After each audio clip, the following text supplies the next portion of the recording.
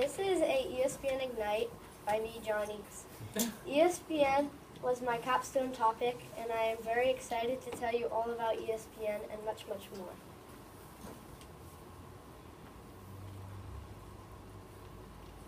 This is my main inquiry question. To solve this question, I found ESPN's biggest changes.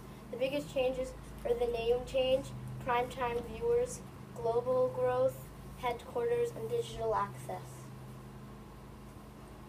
The name change was when ESPN was first called ESP because they only had one show. Later on, ESPN became a network, so it changed to ESPN, which stands for Entertainment and Sports Programming Network.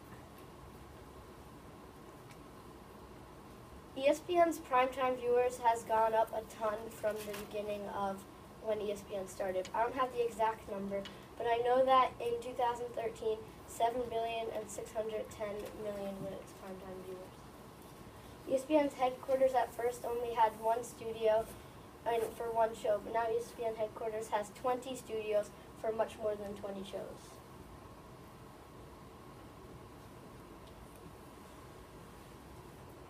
At first, ESPN was only in America and only had one studio in America.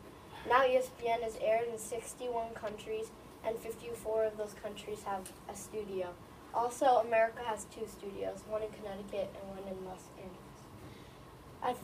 Biggest change was digital access. At first, the only way you can use ESPN is by watching it on TV. But now you can use ESPN by watching, using their apps or watching it on your phone, such as Watch ESPN, which allows you to watch ESPN from anywhere on any device. When answering my main inquiry question, I thought what better way to show how ESPN evolved than timeline. Here's a timeline of ESPN's milestones. Some of the most important milestones were in 1979, its first episode, and in 2012, its 50,000th episode. For more information about my capstone journey, go to my blog. Blog post number six includes my SportsCenter iMovie, and you can go to that by the link or scanning the QR code.